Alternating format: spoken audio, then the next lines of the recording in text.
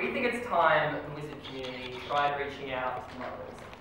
Now Muggle society is more liberal and more educated. We think it's time wizards come out of the closet. The advent of the international engagement between different countries. We think Muggle society has progressed significantly from the Dark Ages, in which wizard-Muggle relations were characterized by fear and mistrust. If anything, at this point, Muggle society is less racist and bigoted and mistrusting than wizard society. It's society which the statue in the entrance to their government depicts wizards on top of goblins and house elves. This is a society with a rigid, rigid class stratification Yeah, yeah. and a society which is, yeah, we agree. We think wizards owe a duty to associate their society with that of muggles and deliver the benefits of knowing, using, and cooperating with magic. Fucking awesome. And we propose, uh, as the actor, the- as being the wizarding world, being the actor in this debate, we firstly reveal ourselves by way of topic two, which these guys vetoed. We will end world hunger. we will end poverty. And Vincent, the heartless bastard he is, wants to opt a motion where we support curing disabled people. we shall then immediately inform media institutions that magic exists. We will inform them about basic facts about the Wizarding World. The Minister of Magic will go on like Muggle television and cast some spells and shit, uh, and tell them basic facts about Hogwarts, about Diagon Alley. Thirdly, this debate is not about outing individual wizards. We will allow people to opt into whether or not they want to be like known specifically to be muggles. Like if you're Lily Potter, you don't have to be known to, to everyone as being muggles. We will not say specific wizards like live here, here, and here. Uh, fourthly, uh, we're, just going to like inform the Wizarding Society exists and basic facts about that. And fourthly, we're having to facilitate like tourism to Diagon Alley, to like engagement integration between both those societies. Three reasons we should do this. Firstly, benefits to muggles. Secondly, benefits to wizards. Thirdly, inter-society relations. Firstly, benefits to muggles. It's generic analysis, but we say that it's sheer luck that you're born without the amazing inherent benefits of being a magician and having magic. Because, and, and, and having all the benefits which you're uniquely placed to deliver. When you have a wand, when you can just, like, say Accio and find your little like, when you can say, like, Accio, like, when you can just fly around, when you can, like, summon things, when you can, when you have all the utility that you can get from, like, overcoming the physical limitations of being, like, a stumpy, rubbish animal with four limbs. First thing we say, we eliminate want by sharing our powers and expertise. Something which is really, really hard to do in secret, ladies and gentlemen. Because we're better placed to do that when we're working alongside muggles, when we can explain to them how to operate wizarding technology, when we can give them charms, when we can give them the sword of Gryffindor, when we can give them like protection amulets, and explain how those magical technologies operate, when we can work alongside democratic muggle institutions and administering welfare by waving our wands and loaves of bread falling out of the sky. The second thing we'd say is that it's really valuable to muggles being able to defend themselves from wizards. We say there are wizards out there who want to hurt muggles. There are rogue elements of wizarding society, people like Voldemort and his Death Eaters and his and other adherents, um, and we think it's incredibly valuable to muggles that they know there's a threat and uh, just, just for their peace, of- just so that they're aware and that, but also that they can take steps to defend themselves. That, that, that we can give them like amulets so they can they, so they can buy charms, so they can subcontract out like defense from aurors and stuff, so that you can like buy a security guard who's a wizard or whatever. And we think it's easier Cool. that you, when you know the threat's coming to be able to defend yourself from the more negative elements of wizarding society, rather than just relying on uh, wizarding, uh, like policing, which is ultimately always like after the fact. The third thing we'd say, that it provides Muggle society of knowledge of instances where your family's disappeared due to like the, the Death Eaters, that you know, or, or even potentially not knowing that a family member once existed and was killed, and there's a memory charm which has been cast on you by aurors to alleviate you of the pain, that you have knowledge of, of, the, of, of what's happened in your society due to wizards, not only the potentially harmful things that you have the peace that you that you your life is enriched by knowing specifically the details that happen, but also the, the good things that happen in human society, that you understand the nature of, of causation. But the fourth benefit that we point to for muggles in this debate is ghost science, something which uh, one of in the third round that enables muggles like the like, understanding of the universe and the wonder and amazement of seeing the phenomena of the wizarding world, seeing ghosts, seeing magic, being able to analyze that, uh, and, and being able to partake and to use, not only use, but to analyze and understand the way the world works is an incredibly important benefit. It's the way that humans instinctively tend towards trying to understand, understand the way the world works, and, and because, and, and enrich their existence and understanding that way.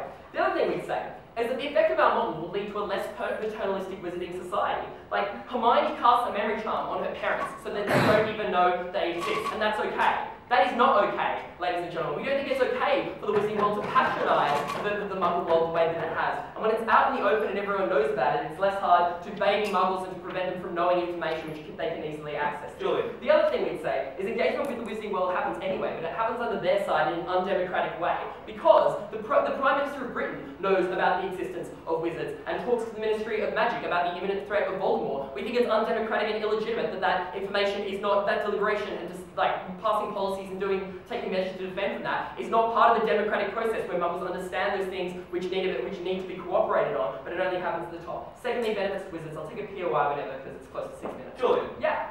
In the real world, Catholic schools banned Harry Potter because they thought that it was supernatural and symbolized fear and evil. Now tell everybody in the Muggle world that there is literally a class of human being who is higher than you, who has more capabilities than you, who has more choice than you in your life.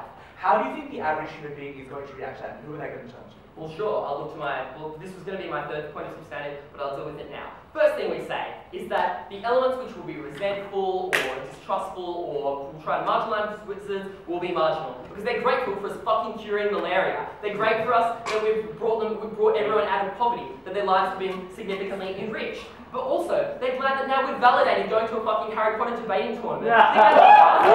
Harry Potter fangirls will be over the moon. And we also say the wizards are like pretty safe. They've got fucking magic. They can wave their wands and defend themselves from whatever threat. Fourthly, we say that muggles will be less scared once wizarding is normalised uh, uh, with, with muggling society. The reason Lily Potter was bullied was because she was seen as a freak and it wasn't understood. But when that's normalised, instead of being seen as just like a freak, it'll be like your child is gifted, this is a phenomenon which occurs, this is okay. Final thing we'd say, if it turns out to be really bad, we can cast memory charges. so our model is to just sort of test if it works. Let's go to expand on this in speech, but we think there's a valuable cultural exchange which can take place between wizards and muggles. When you can look at both sides of society and learn the benefits of the different kinds of development that they've had. We think the Ministry of, Magic, uh, of Magic is overbearing, it employs pretty much everyone, it's a ju judge, jury, and executioner, and when they can discuss like different ideas like democracy, when they can discuss the benefits of innovation and technology, and you can engage in that discussion with societies able to take the benefits of their own unique cultural. Ladies and gentlemen, if it doesn't pan out, we'll just memory charm them. We propose.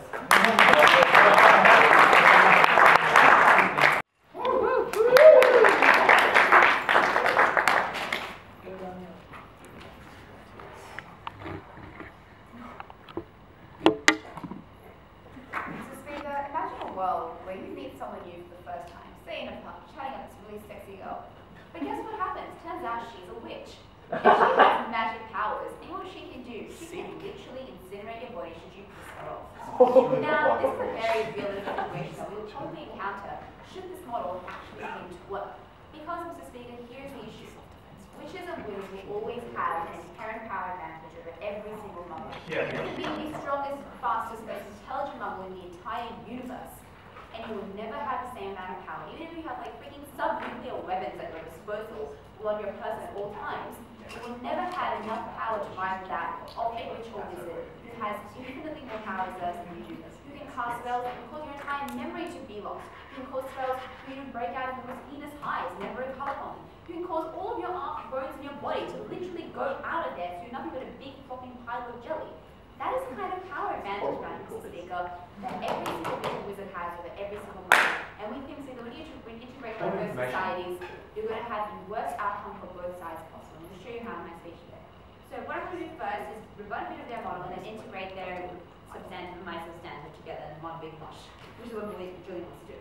So, model. One of the things we found really important in their um, model speaker was they had an opt-in feature. Where apparently, like, if you just didn't want to opt into the muggle world, you didn't have to. First of all, Mr. Speaker, this is kind of what happens anyways. Most people, most don't really realize that, you know, probably the best idea for all of us to go to the Pacific, like, muggle world and basically become their in the service slaves or benevolent overlords, like get to more later on. And then opt out of engaging the muggle world on a regular basis. Those who want to choose to do so, and they have their own voice like that. So I really don't see how that's necessarily extremely different to the status quo. So if you let that further, that'd be really great. But even if, even if it was somehow different, I we still think that this kind of opt-in would actually exacerbate the kind of echo chamber communities be getting under their model, um, in both the wizarding and muggle worlds. And I think it's more my substance. This is really, really bad. Then they also told us to say that most of most of pretty much like you know benefits to muggles and wizards. And he said, you know, muggles have the most fantastic life possible.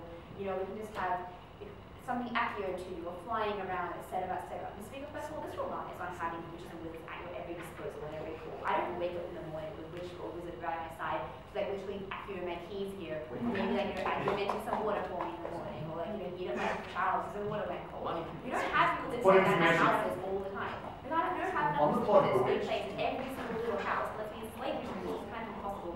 Anyway, so then what will really come work in the terms of providing all these services to people? But even if it does, and I'm not integrating with my substantive over here, even if it does, what we actually see, Mr. Speaker, is that there's a strong power, there's a very dangerous power dynamic between muggles and wizards. I flagged this earlier, and there's always going to be an undercurrent of knowing that you are always at a disadvantage, you are always inferior in every single way possible in the power dynamics to a witch or wizard. This is really, really important to me, because even though you're being moral equals, you can't possibly have ordinary, everyday interactions with someone knowing that they could literally blow your head off if they wanted to, or they could like cause your memory to be lost. On my Or they dating street. or they could or they could do it on your right if you should, should you cross their path. Think that even if you have friends who are wizards and witches, even if you like you hang out at witch and wizard bars, or you go to pumpkin beer or whatever, the problem is that you're always going to know that they have that power advantage over you. It is impossible to have an ordinary interaction with somebody who has an extreme amount of power over you. It's kind of like saying, you know, the clerk at level one, two can totally hang out with the Premier of New South Wales, their best buds. It's not really going to happen because you know that that person has an extreme power advantage over you. It's actually exacerbated over the muggle wizard sense because of wizards, as I said before repeatedly, can kill you if they choose to, or at least make your life really miserable. On should point you of not information, wish to. And even if they wanted, even if it wasn't about, you know, making your life miserable or whatever, even if they were really, really fantastic people, like, sure, I would totally make you gorgeous using my magic because I'm your friend and that's fantastic. You still know that forever and ever and ever, every single thing that's positive in your life is now going to be indebted to this witch or wizard who has so much control over every single little thing that could possibly happen to you. You can live the rest of your life in that sort of gratitude, in that knowledge that every single thing that happened to you that was positive from the moment that which Wait, themselves is because of them you have nothing to do with that. It's a very, very um, misconception to live with. But now, Mr. Speaker, they talk a lot about, you know, well, if it's work out, let's have memory charms. Let's pretend that we're going to be reasonable and actually not have memory charms. That's stupid and throwing the motion. Let's, let's look at what this kind of world would actually look like. Mr. Speaker, we think what's most, before I get started, People who take Muggle studies at Ho- at Hogwarts are seen as boring losers because the Muggle world is of minimal political relevance because wizarding society can exist separately. Wizards are more likely to engage with democratic ideals and advocate for a better wizarding society Really easily, when they Julian. Make Muggle studies compulsory. Don't go to school. Upgrade the portfolios of Muggle history, Muggle literature. It's really not an issue. If you want people to take Did you Muggle say more seriously, do that sort of stuff. It's really not a problem. We don't need to integrate people and make everybody really Yeah, yeah. Moving on to my second point about malevolent dictatorships. We think this is the most likely outcome to happen should you start integrating Muggle wizard laws. What happens to speakers is the back- the backlash from the Muggle hard right. When you have leaders from wizards, well, literally taking over the world and providing every single service. Because what does it do? It sends a message constantly, every single day, every single small interaction, which is anything which Muggles can't do, that you Muggles are inferior to us wizards. Even if they And treat you really, really nicely, all that's going to happen is acknowledge that you are always going to be inferior. And this causes people in the hard-right and Muggle world especially form Western communities and to backlash using rhetoric or through guerrilla terrorist activities. What does this result in? Backlash from the hard-right of the wizarding community. And what we have is actually clashes happening between these two extreme groups. They take control of their own communities because in this fear sort of, this fearful sort of environment, people buying fear-mongering more and more and more. And you get more and more clashes. It's really dangerous.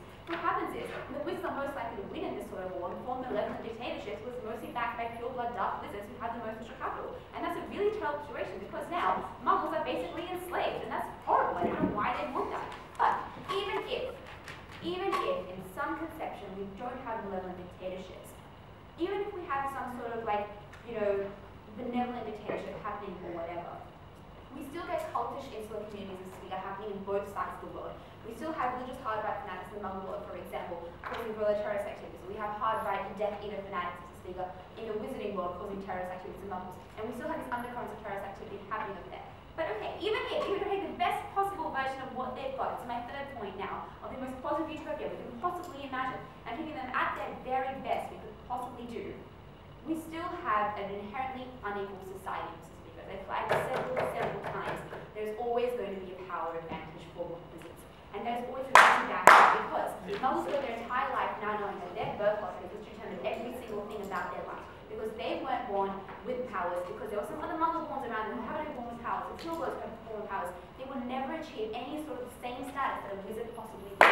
They will always have that social mobility, they will always have fewer um, sense of worth and self. And for all those reasons, we are very happy to oppose.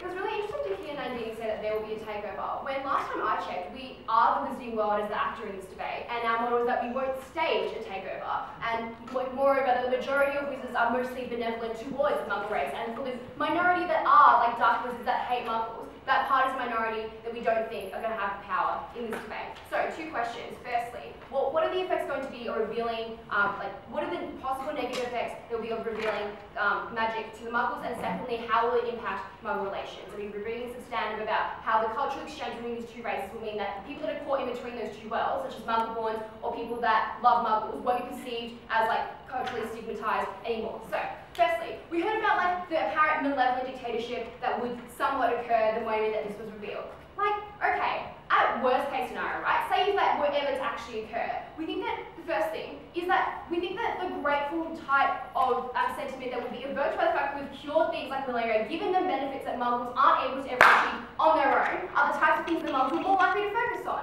And we think that that is the main thing, that even if it is a dictatorship, at least this somehow enslaved class have a better quality of life than they would under their own side. They don't have solutions to those problems, and we can provide that for them. But secondly, we think that like we don't think that the wizarding world should just be confined to always being in the type of system it currently is. We think that the point of being revealing them to muggle systems such as like of democracy and having like a fit, like a discussion about what types of policies will ensue, mean that you do give the wizarding world a chance to actually improve their own system and have a democratic contribution of how they deal with muggles, of how they cover up any type of dark magic that happens to be exposed to muggles. We think that right now the very arbitrary type of exchange between one minister of magic and like a prime minister of muggles, that's the only type of exchange that happens between two people when entire worlds have to deal with the consequences of that. So, secondly, then talking about the second thing she said was talking about how like people when they reveal that they're a witch and things like that, suddenly will feel really weird about the fact that they have they could potentially kill them and do all these other weird shit to them.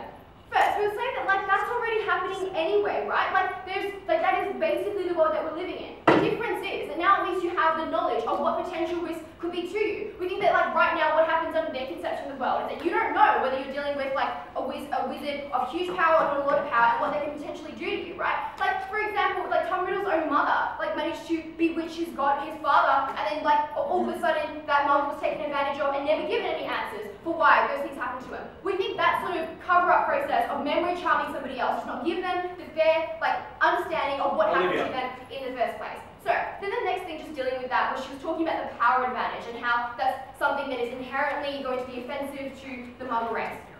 Let's be honest, that power advantage already exists in that just being inherently that those wizards already have magic that muggles do not. The Yeah, difference yeah. is though, a lack of knowledge about that power advantage means that those muggles are being exploited without their own knowledge. The fact that muggles don't know that wizards exist means that the wizarding world can actually memory charm them whenever they want into thinking that like wizards don't exist. So they don't have the same incentive to take accountability for their actions when they can just pretend as if that they never happened in the first place. We think under their side that power advantage still exists, but the only thing is there's more exploitation without that without muggles being given the knowledge to combat that. All of Julian's material, when he talked about how muggles are not able to defend themselves against types of charms that could be like cast against them, or just having the basic facts of what type of wizarding world they're dealing with, is a really valuable thing in being able to understand and grapple with the types of events that are happening in their world.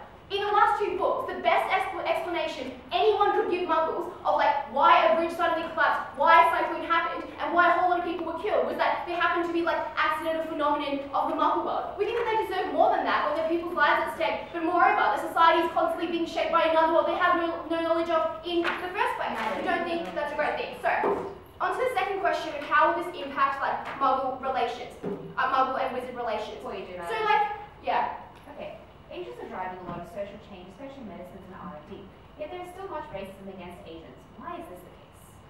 racism, The like racists. whatever, right? Like we just think that like, well not whatever, not to racism, but in the in the context of this debate, like God, I'm Asian, so why would I say like whatever to that? Um, we think that like in terms of like, okay, so to the extent that some resentment will exist, like best case scenario for them, sure, there is some resentment towards wizards, right? That has to be compared to the material benefits that we would actually bring to them in terms of practically how muggles would be able to solve poverty, be able to like be able to like subcontract aurors to defend them if they so want to against any potential wizarding curses there. Like that has to be compared to the practical benefits rather than just like some offensive sentiment towards them. But like secondly, we'll say that that is not a homogenous type of reaction that all muggles would have. There'll be some that are grateful and some that are resentful. But on the whole, we think that muggles are more likely to pay attention to like the things that are happening before them and derive gratefulness from that. So the last thing that we were talking about that we were talking about I'll do that in my substantive now. So talking about we think that there are people in this debate that do not fit in those two worlds and have to choose one and prioritize one form of their identity over another, either as a muggle or as a wizard if you're a muggle born, and choose to segregate yourself from that world without any chance to get a move in between those two worlds. So what am I talking about? Firstly, I'm talking about like people who are muggle born, who by the lottery of birth are born into a family that are muggles and are not of pure blood. Suddenly it is unjustly unfair that those people have to leave their muggle parents behind and usually leave that muggle world behind when they happen to marry a wizard and fully immerse themselves in that world. We think they have to give up any form of like a normal family life. We can actually talk to your parents about your experiences in schooling. We think that's a really important thing for them when they're growing up. So, or for example, we give you another example of how Petunia was, perce was perceiving her sister Lily as somewhat of an alien freak. Remember, she entered another world because she had different characteristics to her and didn't understand that. So, how do we change this? We think that, firstly, when you actually go off to Hogwarts as a muggle born under our conception, it's not like you're choosing to fully segregate yourself from that because the moment that under their world, when you actually go off to Hogwarts for a few years for schooling, you can only like, tell your parents or your family like the very bare details of what you're doing. They just know you're going to some other school to foster like to foster your skills that are like not of an ordinary experience. So if you're afraid of breaking the law of revealing the wizarding existence, you can't tell your family all those things that you want to empathize with them. But also, secondly, like you're like given that the Muggle race doesn't have any knowledge whatsoever that the wizarding race like exists right now. There is no way for them to even relate to how their children experience things. Under our world, when we have given the basic facts, they are able to actually have a type of normal, somewhat relationship where they can empathize with their kids and be able to have that. So, but secondly, we'll say that like what happens when you leave Hogwarts and you continue to be a Muggle-born wizard? If you happen to marry a wizard or remain in that magical community, you're not able to go back and revisit your Muggle community and spend the amount of time that you want there for fear of being discovered. We think that allowing these worlds to coexist means you can move between them rather than remaining separate worlds. We don't think that like Muggle-borns or like people that are labelled as blood traitors need to choose between their identities and prioritize being like supporting a Muggle world or a wizarding world. We think they can have both of them and equally be like someone that is respected be able to form their identity, we're proud to oppose.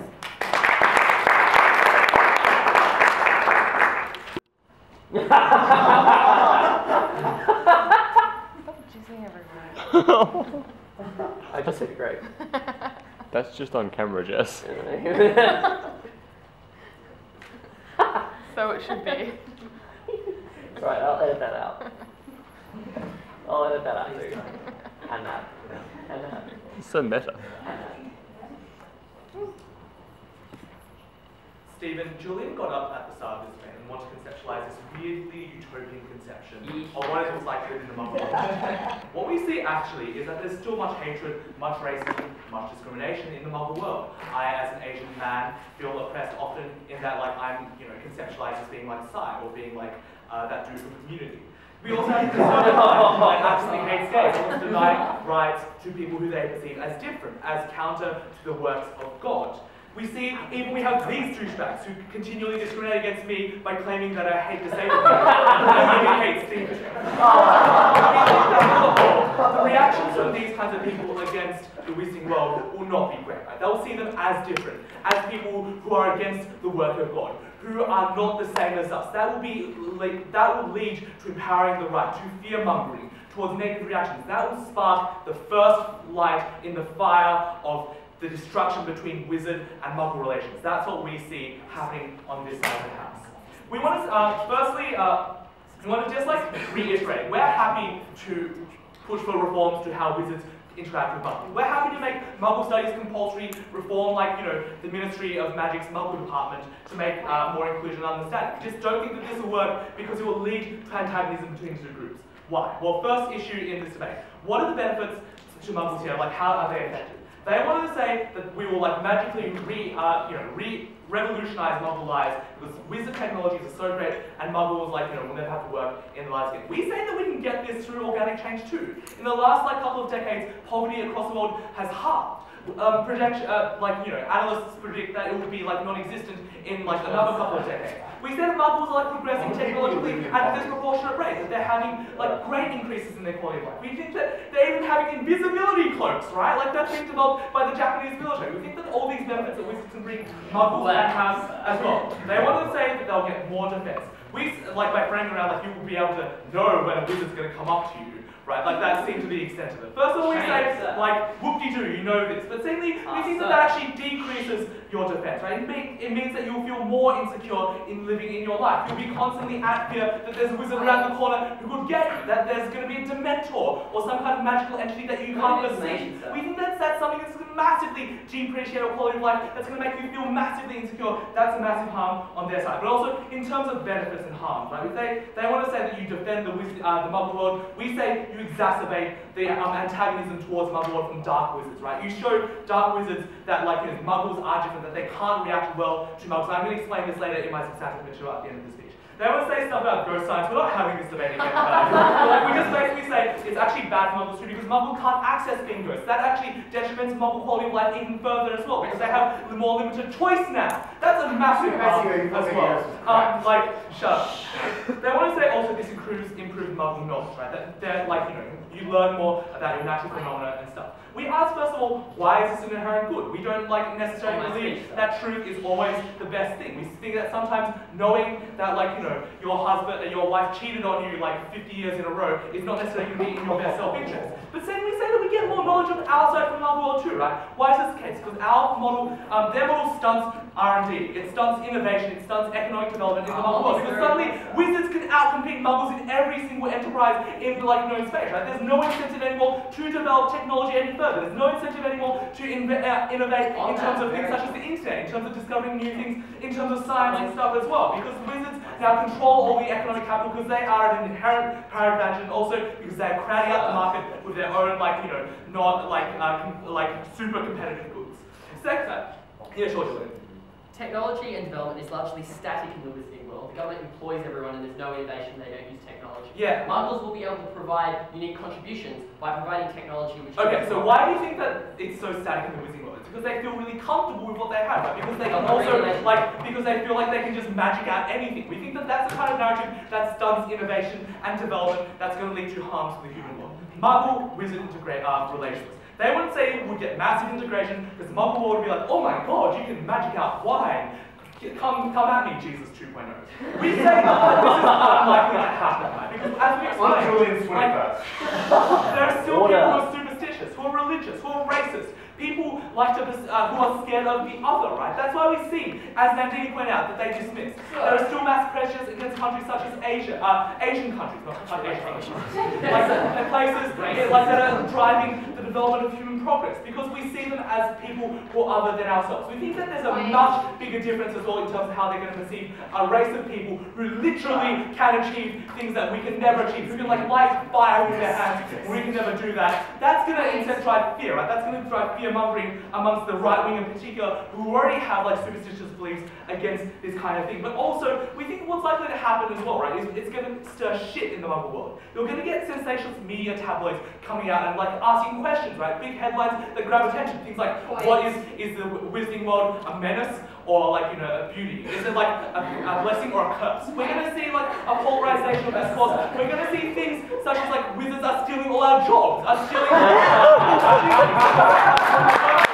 we will see the right wing being empowered. And what does that mean? First of all, it means the right wing get empowered in the Muggle world, right? We see more prejudice, more empowerment of people who are prejudiced. But in the Wizarding world too, how are they going to react? We're going to see that they're to, like, first of all, it's a key problem to establish the world buys up, like, tabloids instantly, right? They, like, read Rita Skeeter and think it's the words of God. They're going to see this and think it's an exemplary of Muggle attitudes. They have no critical thinking don't learn English and history uh, very well in high school. That's going to mean that they're going to feel antagonized too. They're going to see this rhetoric, especially given that they already fear Muggles to some extent themselves. They're going to feel like Muggles are people who are out to get them too, that they don't feel welcomed by Muggles, that Muggles are people who they can never reconcile with. That's going to empower the far right, the people who believe in blood purity in the wizarding world too. Right? It's going to see a resurgence in dark wizards who have whole, whole prejudices. It's going to see people, like, especially at a point when Voldemort's recently been discredited, we think it's going to, like, re-legitimize that kind of claim that dark wizards have. They want to say that, oh, if this doesn't go well, we can memory charm out of it, right? We think that that does even more damage, because now it's like the wizards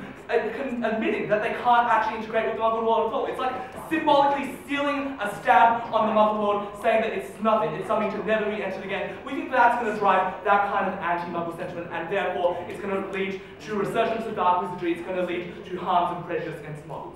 Finally, at their best case, right? We think their model is principally unjust because it reinforces the birth lottery. It tells Muggle, it um, undermines Muggle's choice because your achievements, your happiness is always colored by the fact that you can never achieve what great wizards can. That's going to devalue your quality of life and the quality of your achievements because you can never be as great as the wizards were around you. Matt, Mr. Speaker, Madam Speaker, this model harmed Muggles. It hurt the wizards. It made everyone feel really, really bad about themselves. We were never proud of Tour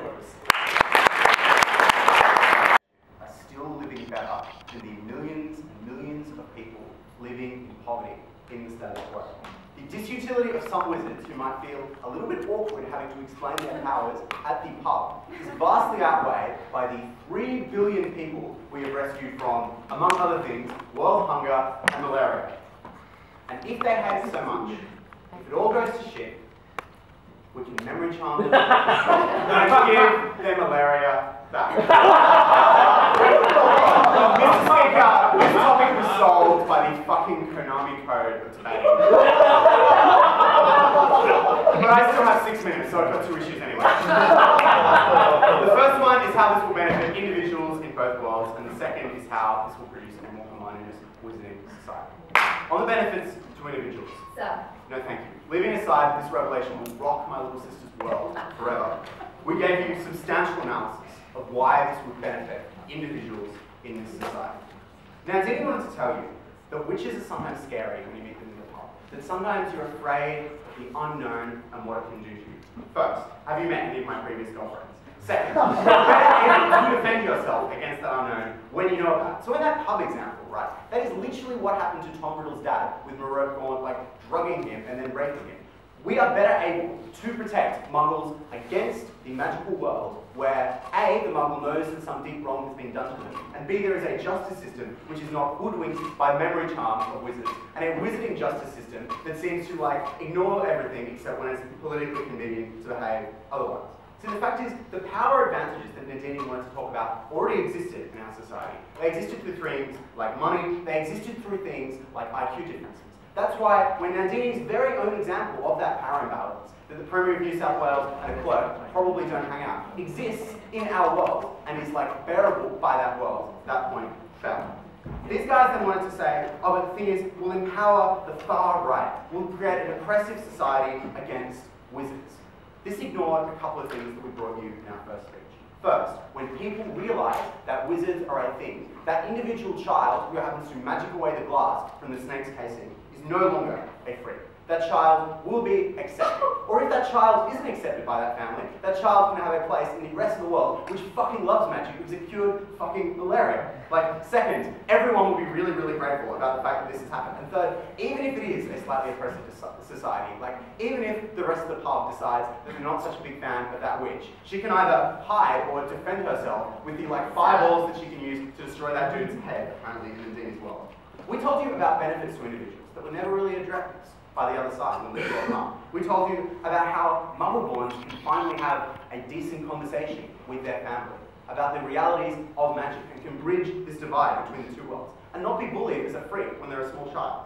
We told you that people who pay attention in the now compulsory Muggle studies won't be freaks like Arthur Weasley. They'll be people engaging with the forefront of this new economy, with the innovation that the Muggle world can bring to the Wizarding world, as well as that that we can bring to them. Finally, I can marry that really cute chick who can blow up people's heads that I met in the pub. the benefits to individuals from our case are substantial, but I'll take a POI anyway. You, we already told us that you know we have power dynamics in our current world as it is, but we know, and I've told you this about a thousand times, that magical power advantage is above and beyond anything we see today. Why do you want to entrench this power advantage and make people's life more hell? Well, first, if the magical power advantage is that great already, it is surely greater by virtue of the fact that no one else in the world knows about it or is able to take any defensive steps against it. Like, second, to the extent that you are really, really scared of that magical power advantage, like you are less scared when there is a justice system that can hold that person to account. My second issue in this debate is how this will affect societies more broadly. We told you all about this. These guys wanted to talk to you about malevolent dictatorships. It was unclear whether that would be a Muggle takeover of the Wizarding World or a Wizarding takeover of the Muggle World. So I'll deal with both. On the idea of the Muggle takeover, like the Wizarding World has magical defenses, we can deal with this shit. On the idea of a Wizarding takeover, we gave you a number of reasons why Wizarding culture would be different as a result of this cultural exchange and people actually engaging with each other on this level. First, like wizards might start to appreciate democracy, this thing in the model in the Muggle world. And I wouldn't have to go through another one of these tournaments, like modelling in a functioning justice system every time we have a criminal justice round. Second, second, like when this cultural interchange exists, when people are living in harmony and muggles and wizards are living on the same streets. Like, dark wizards are less likely to see muggles as the enemy because it's harder and harder to hate that guy who, like, your kids go to school with sometimes. It's harder and harder to hate that guy you see in the shop when you're buying food every week. On the idea that this would antagonize dark wizards, no thank you. We have, yeah, but further on this idea of antagonizing dark wizards, Mr. Speaker, we heard that dark wizards, no thank you, were going to be empowered in this society. The dark wizards would manipulate the lack of critical thought on the part of these wizarding, or oh, the one part of the wizarding world in order to more aggressively strike back at the muggles. See, that's the thing. This debate takes place just after dark wizardry has had its name dragged through the mud by that guy, Voldemort, who we beat, and his followers, who we put in prison forever. The dark wizard hard right is not going to come to power again for the foreseeable future. No, thank you. When we create a more tolerant world through muggle interchange, we are able to prevent that kind of far-right enterprise from coming to power again. The last thing I want to talk about for society is about economic innovation. Because these guys want to claim that, well, having magic means that there's no incentive for you to innovate, for the muggles to innovate. Society just kind of stands still. First, if that's true, who cares that there's no incentive to innovate anymore? Like, you already have all the possible luxuries of the world open to you. Why the hell would you bother to develop new technology? We don't think that's true though. Not only because JK said so, but also because the wizarding world, in many ways, is a little bit shit and has a lot to learn from the muggle world. Like the fact that like 80% of wizards are employed by the Ministry of Magic. Because apparently there's no functioning economy outside like state control. Like the fact that there are no elections that we know of, and also like the Minister of Magic presides over the High Court. What the fuck is with that? Mr. Speaker, our interchange would benefit both muggles and the wizarding population. It would bring tolerance, it would bring peace, it would bring an end to world hunger. And if everything went wrong, we could just memory charm it away. We're proud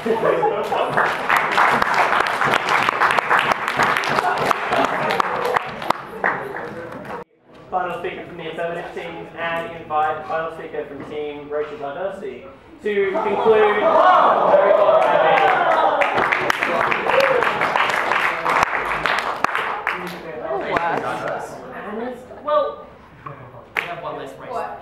Anna's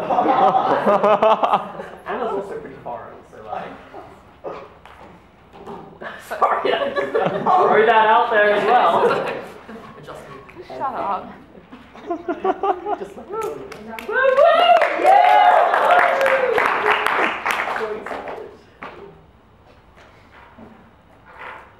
Mr. Speaker, on this side of the House, we believe ignorance to be bliss. But we only believe that ignorance to be blissful if neither side, like, of that transaction ever actually has any recollection or any exposure or forced exposure interaction with the other side. We think for all their claims of memory charming, like, the experience away, that still leaves our analysis about why the wizarding right will be polarized and will have increased fuel added to their fire, which is currently dying out. We think that, like, including in a post-Voldemort world, like, exposing wizards to muggles is the worst thing you can do for the quality of life that muggles lead because it substantially increases the amount of fear that they perceive in every waking moment. It's also bad for the wizarding world because it fuels the very conflict which has characterized a book series. So I'm going to bring today three, three questions in rebuttal. Firstly, how does the Muggle affect Muggles' quality of life? Secondly, what is the nature of the wizard-Muggle power struggle? And finally, what does the model do for engagement and like the mobility of mixed identities?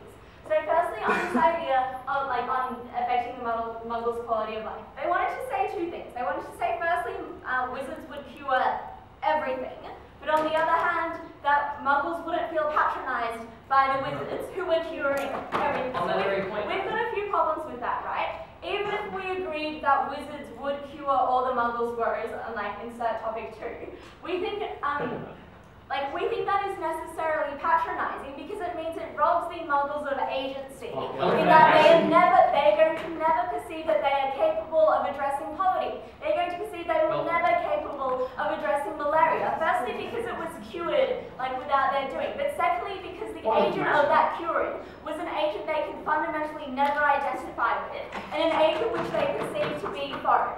So this next thing they told us was that Muggles like will be better off because they'll understand the threat that is posed to them by wizarding kind, but that but they'll be able to be protected. In the context of a post-Voldemort world, the threat that Muggles face from wizards is like actually very, very low as long as these societies stay separate. At that point in time, it's not an improvement for the Muggles to be aware of the massive power that actually exists in this world that they can't control. So we think like Muggles have a lot of fear.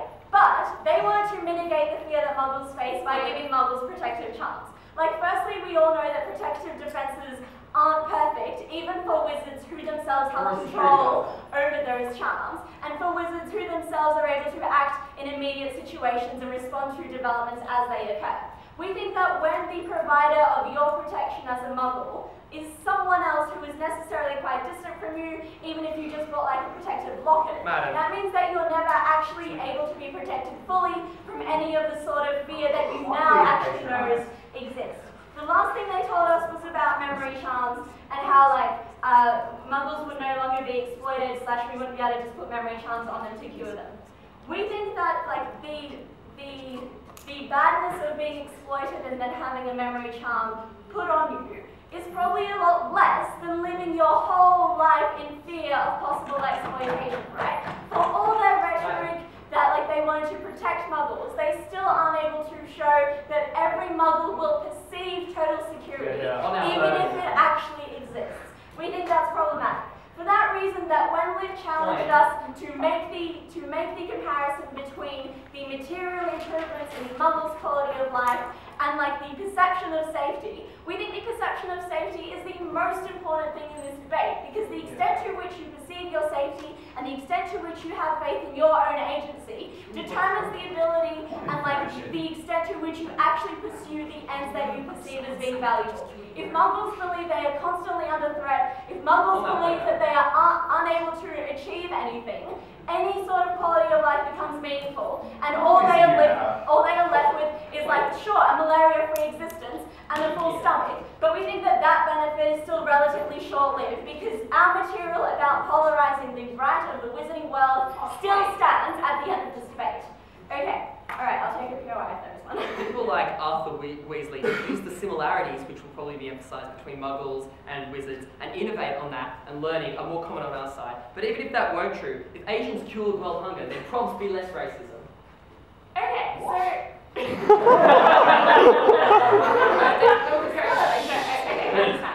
we think it's fantastic that people that like Arthur Weasley exist, but the unfortunate nature of discourse in general and the unfortunate nature of the discourse in the wizarding world is that the extreme voices get the most coverage.